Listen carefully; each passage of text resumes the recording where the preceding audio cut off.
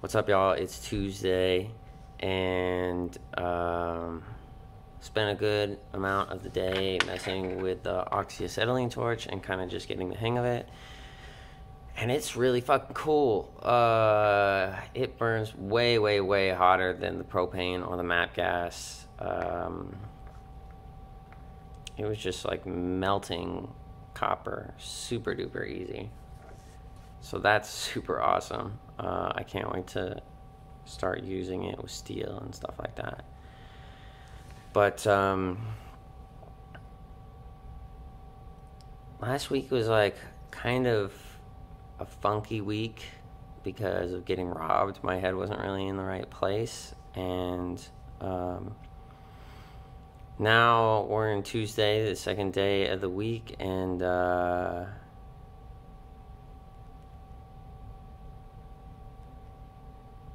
I have my bills paid without needing any money from the design side of the business.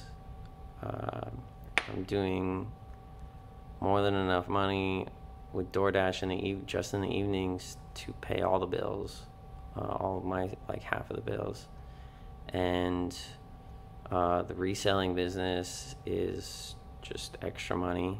Um, to like help pay extra stuff and uh, bring back into the business like and whereas before like when i started in april i was like all right well i'm gonna make these necklaces and then i'm gonna put them up on etsy and then i'm gonna sell those and make some money and uh, the traffic just hasn't been what i expected.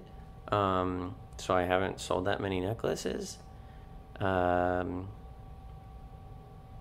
so there was a period there where I was a little bit scared uh, about like this isn't doing what I expected.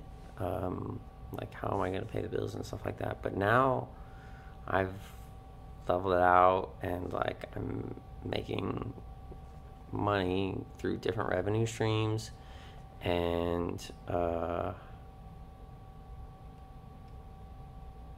so I have to rethink the design side of the business. And that's super good because like not needing money gives me total freedom. Uh, and also a big thing was I didn't want to fuck with wedding rings um, and stuff like that, especially rings because they're so personal and they need to be exactly the right size and stuff like that. And wedding rings on top of that is like a super big occasion and it seemed like a lot of pressure. Plus, I w- wasn't that confident with gold. Um, but having done Josue and Maggie's rings, and it wasn't that hard uh, and it was really enjoyable. And they appreciate it so much and it's just really like feels good. Um, whereas before i was like worried that like the, of like the stereotypical bridezilla situation you know? Um, but like bring that kind of like appreciation and like happiness like it's really awesome to do that like selfishly because it feels good and like uh just to like i don't know be the person that can do that for someone um, so i have to rethink my whole business model with respect to the design side. Uh, I have to rethink pricing. Uh,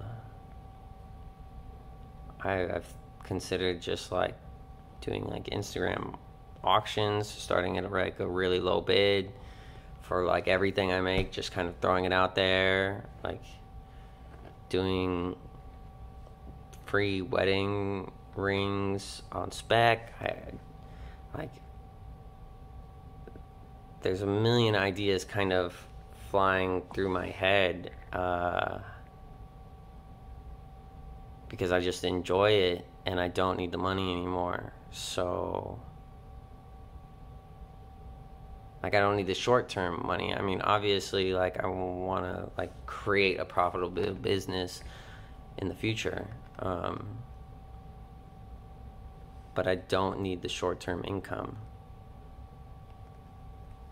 So that is good.